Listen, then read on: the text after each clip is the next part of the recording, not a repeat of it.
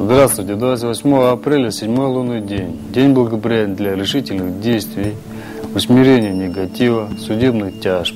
Неблагоприятен для операций, ритуала вызывания дождя, прошений, важных дел.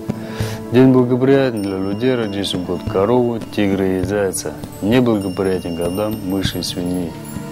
Ребенок, родившийся в этот день, будет обладать храбростью и аккуратным по отношению к отцу, будет проявлять уважение и будет с жестким нравом.